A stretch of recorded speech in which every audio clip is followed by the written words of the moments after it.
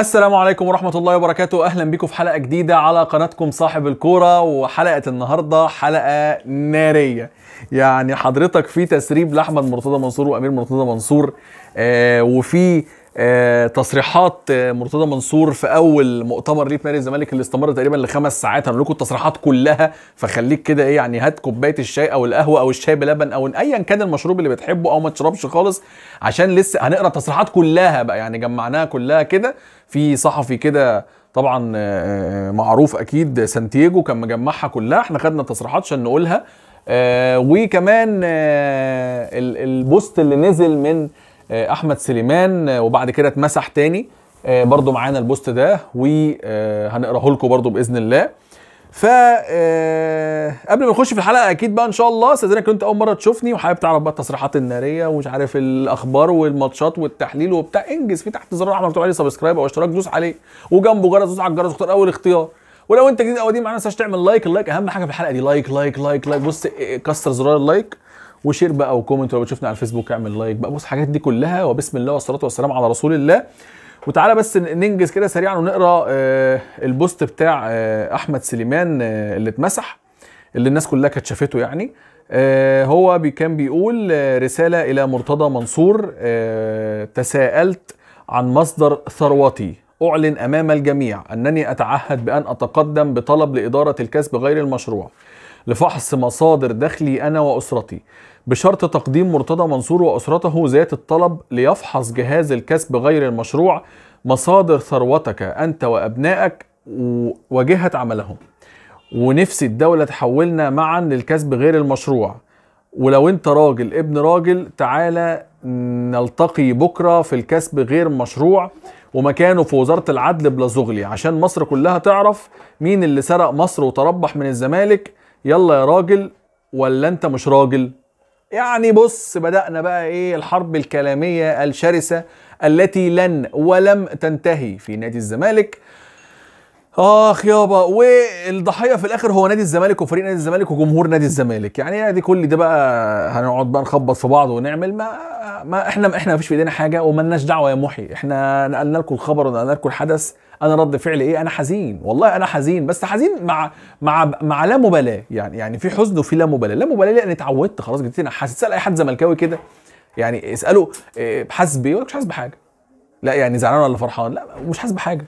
أيوه يعني فرح يعني لا ما فيش إحساس أصلا. في فقدان للشغف. ف... فالحمد لله الحمد لله وكنا كلنا متوقعين إن ده ممكن يحصل. آه تسريب أمير مرتضى منصور. وأحمد مرتضى منصور في مكالمة كده موجودة على النت في كل حتة. آه طبعا مش هينفع أزعل لكم المكالمة ابدا ولا أزعل لكم التسريب ده ابدا. هو موجود على النت في كل حتة لأن هي المكالمة ثلاث ارباعها زائد 18 فمراعاة لمشاعر آه، حضراتكم طبعا أنا مش هينفع أذيع حاجة زي كده خالص خالص. آه، والموضوع هيكون صعب عليا وأنا مش معودكم على حاجة زي كده موجودة في كل حتة يعني كده كده. يعني آه، يمكن أنا من آخر الناس اللي سمعتها الناس مصر كلها سمعتها وشيرتها في كل صفحات الفيسبوك. أنا من آخر الناس اللي سمعتها بالصدفة كده على صفحة من صفحات الفيسبوك. فمش هينفع زي ما بقول لك اشغلها عشان هي زائد 18 هو أمير بيكلم أحمد وبيكلمه بيقول له عشان لو أنت مش حابب تسمع المكالمة ومش حابب تسمع شتايم هنجزك يعني. هو أمير بيكلم أحمد فبيقول له إن أحمد يعني قبل الانتخابات أحمد كان احتمال ينزل نائب. فامير بيكلمه بيقول له بلاش تنزل نائب آه، يعني هيبقى في مشكلة وممكن نخسر مش عارف مقعد ولا إيه. انزل أحسن يعني عضو والنائب آه، نخليه لحد تاني. فأحمد بيقول له طب أنا أقترح أيمن يونس ينزل فقال له لا أيمن يونس كذا وراح شاتم عليه شتيمه بالأب والأم شتيمه بالأم يعني. بعد كده قالوا طب ننزل آه، وقلت لمحمد صلاح يجي طبعا مش محمد صلاح بتاع ليفربول محمد صلاح اللي في مصر. قال له أنا مش عضو أصلا في النادي فراح أمير مرتضى منصور قال له خلاص آه، إحنا ممكن نجيب حد زي خالد لطيف هو زيه زي آه، زي زي اسمه إيه زي أحمد جلال إبراهيم شتم شتيمة كده.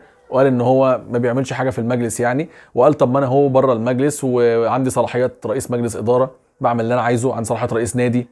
آه وقال له آه بس يعني وقال له إن هيحصل مشكلة وأبوك هيشتم مش عارف هشام نصر لا ده شتمه لا ده ما شتموش. قصة كده وترتيبة. بصراحة بغض النظر عن كل حاجة اللي عجبني في القصة دي كلها بما يرضي الله دماغ أمير مرتضى منصور. يعني إن الدنيا كانت رايحة في حتة خالص هو قرأ المشهد من بره ما بتكلمش عن عن أشخاص بتكلم عن دماغ وتفكير. هو أمير مرتضى منصور ال- اللي عارف إيه ال- ال- الراس الكبيرة في القصة دي هو اللي مدور الدنيا كلها. يعني يعني كان أحمد مرتضى منصور هينزل نائب ومرتضى منصور ينزل رئيس قالوا لا إحنا نخسر كده مقعدين ويحصل قصة وأبوك هيتخانق وهيشتم وهيعمل أنت انزل عادي ونضمن كرسي في مجلس الإدارة. وفعلا ده اللي حصل. فدماغه دماغه متكلفة دماغه سم كده يعني دماغه إيه تحس إن هي دماغ آه، جامدة جحدة كده. فبجد والله عجبتني بغض النظر عن أي حاجة تختلف أو تتفق.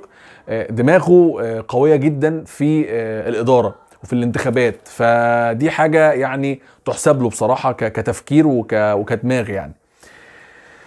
تعالى بقى معلم نخش بقى على الليلة الكبيرة بقى وإيه وخد نفس عميق وطلعه في آخر ال- الحديث ده. أبرز تصريحات مرتضى منصور في المؤتمر الصحفي. فوز قائمتي فوز قائمتي في انتخابات نادي الزمالك معجزة إلهية والنادي كان خرابة وربنا ستر. حبيب العدلي ساعد في تزوير الانتخابات مع ممدوح عباس في 2009 كل المرشحين المستقلين في الانتخابات يتولون لجانا داخل النادي. الكلام ده كله يا جماعة على مسؤولية مرتضى منصور هو اللي قاله وطبعا اللي نقل الخبر ده أو اللي كتب التصريحات دي كلها نتيجة الفيديوهات اللي كانت موجودة هو برضه نديله حقه الصحفي سانتياجو صحفي نادي الزمالك. كارتيرون مستمر مع الفريق والمدرب أدى ما عليه في مباراة بترو أتلتيكو وغياب التوفيق سبب في التعادل. جمال عبد الحميد سيكون رئيسا لبعثه الفريق في رحلة أنجولا. البعثه ستتوجه من أنجولا بعد انتهاء المباراة للمغرب النادي حصل على حكم لصالحه في القضية اللي رفعها على معروف يوسف على معروف يوسف. النادي سيفوز بقضية خالد بوطيب آه، النادي لن يترك حقه في قضية اللاعب الهارب محمود كهربا وليه 33 مليون جنيه. وطالب قناة النادي بإزالة شريط حمل التبرعات الموجودة بالقناة والنادي ليس في حاجة للتبرعات. مجلس الإدارة سيوقع خلال الأسبوع الجاري عقد إنشاء فرع النادي في السادس من أكتوبر. خزينة النادي ستنتعش غدا بمستحقات النادي لدى عده بنوك. مندهش من قرار اللجنة السابقة لإدارة النادي بشأن وضع بند أحقية شراء في عقد محمد صبحي. ومستقبل حارس المرمى في مصر مقابل 25 مليون جنيه فقط. عمر كمال عبد الواحد سيعود للفريق لأنه لاعب فذ وموهوب والفريق يحتاجه. جميع اللاعبين المعارين سيعو- سيعودون لصفوف الزمالك بنهاية الموسم. حسين لبيب كلمني وهنأني بمسابقة نجاحي. آه، وأحب أشكر اللواء عماد عبد العزيز أيضا لأنه هنأني. مجلس الأهلي لم يقم بتوجيه التهنئة لي بعد فوزي بالانتخابات. الخطيب ومجلسه استكبروا المبادرة بالتهنئة. بشكر ربنا سبحانه وتعالى إن حصل معجزة إلهية لا تحدث إلا مع المتقين وأنا بتقي ربنا. أشكر أعضاء الجمعية العمومية ربنا ستر كان في بلطجية وكان في تطاول على رئيس الوزراء ووزير العدل والنهاردة بينزل بوست بيهدد الدولة والإرهاب. أنا ممتن لأعضاء الجمعية العمومية حتى اللي ما ادانيش صوته. بشكر كل جماهير الزمالك المحترمة بشكر إعلام الزمالك اللي مش رسمي مش إعلام أبو العلا وخالد الغندور ويقول لك الشركة الراعية اللي تحدد مين يمشي. أنا رئيس مجلس إدارتها ويقول لك أنا مش شغال عند حد لا شغال عندي امال شغال عند الحاجة. كل واحد يتحاسب. أنا منعت كل العمال والموظفين من دعمي وده حسب اللائحة. فريق الكرة بالكامل كان عاوز يدعمني لأن أيام العز كانت معي وهترجع تاني. كان في بلطجة ومرصودة في الفيديوهات وتقول الساعة 11 ولسه ما جاش. أنا شغال عندك أنت. مين يلا؟ مين يلا؟ ويقول لك ما جاش. أنا مطمن لربنا وأعضاء الجمعية. اللي حجز على النادي ودفع 400 ألف جنيه لأيمن حفني وحجز على النادي وخدهم مليون و400 ألف. بيقول ماشي بالميكروفون بالنادي ما خدش باله ليه أنا ماسك الميكروفون؟ لأن أنا طبقا للقانون رئيس الجمعية واجب عليا احمل اعضاء ووقعت على المحضر وكنت بره المجمع الانتخابي وبنبه الناس من الاستفزازات عشان ما يستجيبوش للبلطجية. هسألك سؤال يا غبي بتقول ما دخلتش ورق؟ إزاي يا غبي وأنتم مدخلين بلطجية وجابوا ناس ضربوا بعضهم وصورهم للإعلام؟ كل من أخطأ سيحاسب. الملايين التي تمتلكها من أين يا أحمد يا سليمان؟ أنت كنت موظف في مصلحة السجون من أين أتيت بالفلل والسيارات؟ آه، أنا أتيت بكل بياناتك من أبناء أختك. أشكر وزير الرياضة آه، بالرغم من عتابي له جميع الأصوات الباطله كانت صالح مرتضى منصور موظف موظفي النادي والعمال المحترمين. أشكر كل الموظفين والعمال اللي مش خونة ومش بيقبضوا ومش بيبيعوا نفسهم. أحمد سليمان قال يوم الانتخابات آه إني أنام في منزلي الآن وأنت مالك؟ أنا نايم مطمن لربنا. أقول للولد اللي اسمه أحمد ناصر البلطجي الذي تعدى بالضرب على إبراهيم وزوجته الذي يعمل في النادي أنت افتعلت أزمات من قبل مع عمر جابر وصاحبك أحمد عبد القادر ميدو. حكى لي إن أنتوا خ... إزاي خرجتوا من السجن. آه، كل المرشحين اللي شاركوا في الانتخابات مستقلين ولم يوفقوا لهم كل الشكر والتقدير. كانت هناك محاولات من بلطجية أحمد سليمان وممدوح عباس آه، للاعتداء على أحمد جلال إبراهيم المحترم. لا أحد يقول لي افتح صفحة جديدة أنا سوف أفتح صفحة مع المحترمين فقط ولو الدولة لم تحاسب أحمد سليمان أنا سأحاسبه. من الذي يحميه؟ هل الدولة تحمي بلطجية؟ لن أسامح أحد. كرامتي وكرامة المجلس والجمعية العمومية فوق أي حد. أنا لم أترشح للانتخابات حتى يتم سبي رجالة أحمد سليمان هتفت.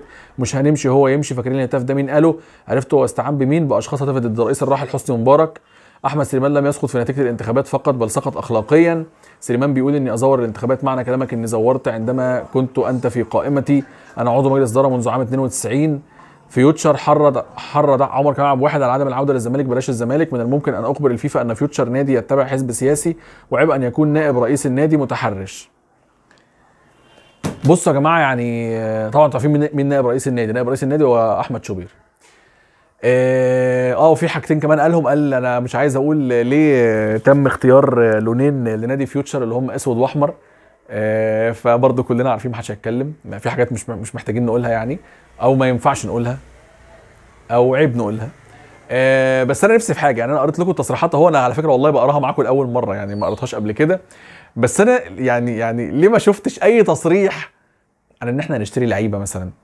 عن تجديد عقد طارق حامد. عن تجديد عقد أبو جبل عن عودة بن شرقي وتظبيط عقده عن وجود اوناجم وسيف الدين الجزيري وحل قضيتهم عن يعني يعني فين النادي؟ يعني التصريحات دي كلها جميلة وعلى عيننا وعلى رأسنا وكل حاجة بس هي تصريحات خاصة بمجلس الإدارة خاصة بمشاكل مجلس الإدارة خاصة بحكايات مجلس الإدارة كل ده جميل. فين بقى حكايات النادي؟ فين حكايات اللعيبة اللي ما جددتش اللي هتمشي واللعيبة اللي اللي ليها رفع قواضي ونجم اللي اشتكانا في الفيفا وسيف الدين الجزيري اللي اشتكانا في الفيفا وبن شرقي اللي خد مش عارف فلوس إيه وطارق حامد اللي اللي عنده إصابة في مستحقاته. يعني معلش يا جماعة طارق حامد غايب بقاله كام شهر يقول لك كدمة في الركبة. يعني أنا ما شفتش حد في الكون بيجيله بيجيله كدمة في الركبة. دي مش إصابة كدمة ركبة دي إصابة مستحقات. الراجل ما خدش فلوسه فأنا مصاب. يعني هتدوني فلوسي والله أرجع بكرة توربيني. ف... ف... فدي أول إصابة من نوعها أحفظها كده. طارق حامد مصاب في مستحقاته. عشان بس ننجز مش هنقعد ندلع ونطبطب. دلعنا وطبطبتنا على اللعيبة دي اللي جايبانا ورا طول عمرنا. وأنا دايما طول عمري بقول كده. الحمد لله يعني وأفضل كده طول عمري برضه. فيعني آه، كفاية كده. حلو قوي. الحلقة كده طولت جدا. داخلين أهو في مش عارف كام دقيقة. كان مع أخوك عمرو عاطف في قناة صاحب الكورة. أشوفك إن شاء الله في فيديو جديد. سلام عليكم.